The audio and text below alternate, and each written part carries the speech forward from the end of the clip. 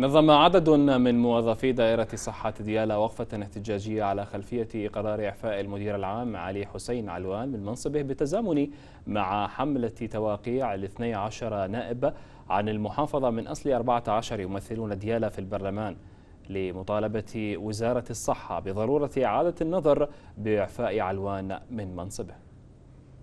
إلغاء قرار إعفاء الدكتور علي حسين علوان مدير عام صحة ديالى كونه شخصية مهنية ونزيهة وكفؤة.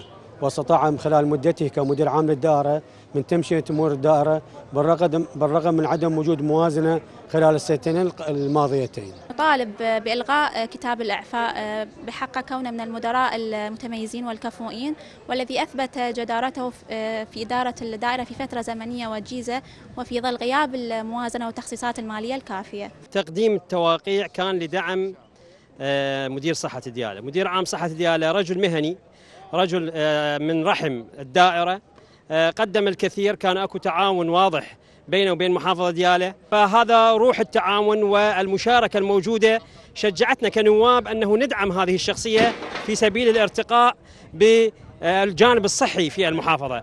ولكن قرار مجلس الوزراء قرار محترم. سنقوم أحنا بمراقبة المدير العام القادم وأيضا لن نترك مدير العام السابق وسنجد له أكيد مكان بديل أفضل من هذا المكان الحالي.